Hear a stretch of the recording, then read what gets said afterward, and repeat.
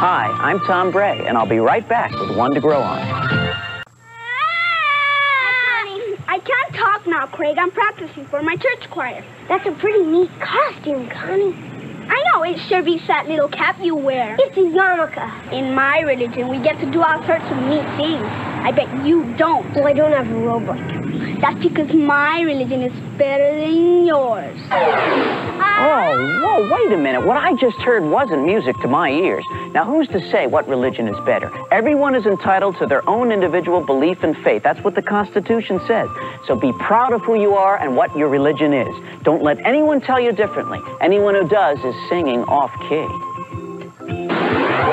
You like your religion, I like mine. But you can't say yours is better just because you have a robe. I guess I got carried away. That's okay. Say, we sing at my temple, too. Want to practice together? Sure. Fun! And that's One to Grow On.